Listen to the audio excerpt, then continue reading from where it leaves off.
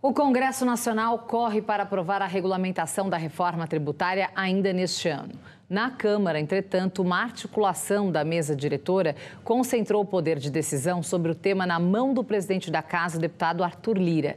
E agora, frentes parlamentares tentam reverter a manobra.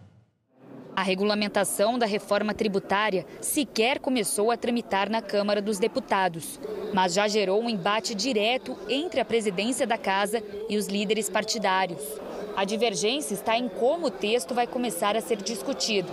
Numa comissão especial, como manda o regimento interno, ou num grupo de trabalho. Inovação criada informalmente por Arthur Lira, com o objetivo de dar, segundo ele, celeridade à aprovação de projetos.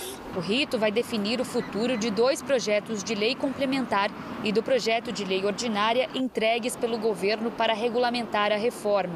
Nas comissões, a divisão das cadeiras respeita a proporcionalidade dos partidos que compõem o plenário.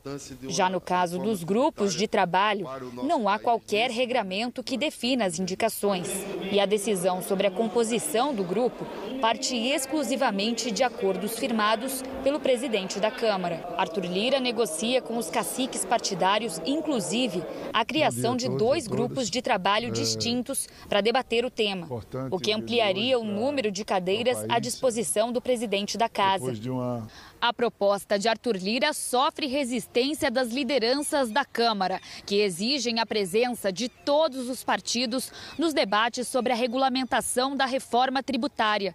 23 frentes parlamentares divulgaram agora um apelo para que Lira siga o regimento interno da casa e crie uma comissão especial sobre o tema. Seria muito mais interessante que nós víssemos a formação ah, de fato, de uma comissão especial com regramentos já específicos uh, determinados pelo regimento interno da Câmara dos Deputados, haja visto o debate público posto. Né? Uh, se nós tivermos um grupo de trabalho, a coisa vai ser imposta e a gente não sabe quais serão os ritos e trâmites para a formação de, de, uma eventual regulamentação da reforma tributária, que pode ser até paralisada em eventual obstrução dessas frentes parlamentares no plenário da Câmara.